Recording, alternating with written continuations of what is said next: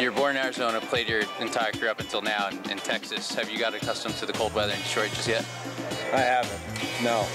Uh, April's cold, but it's worth it during the middle of the summer. You get a lot of a lot of great days, uh, a lot of great ga uh, day games, easy travel days. So it's it's been good on on that aspect. Do you ever see yourself becoming big on Twitter? No, I don't. I don't. I don't understand a lot of it. Um, I think it can be used for good, and I think people do use it for for uh, you know charities and and good things, but I don't understand most of it. Now your avatar, you're playing pool. Is there anybody in this clubhouse that can beat you in pool?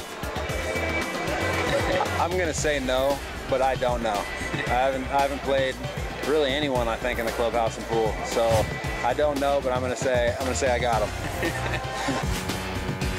Do you consider yourself a big gym rat?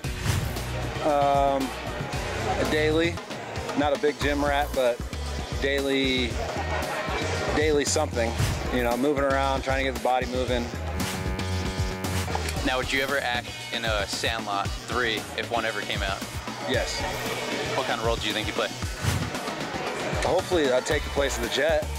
you know, hopefully I can take the place of little Benny Rodriguez. Would you ever be seen first row in a, in a scary movie? Negative.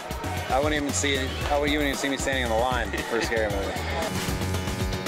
How about a rap concert? Yes. If you could ask anybody a question and you're guaranteed a yes, what would the question be and who'd you ask it to? if I could ask anybody a question and they have to say yes to it, who would it be and what would the question be? Jeez, that's like endless. Bill Gates.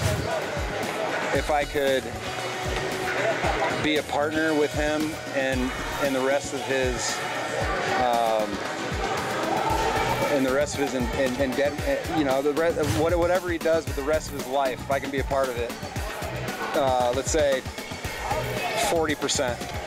So you'd ease into it before eventually taking it all, I guess, right? No, no, I just stay at 40%. I don't want to take it off. I'm not that type of guy.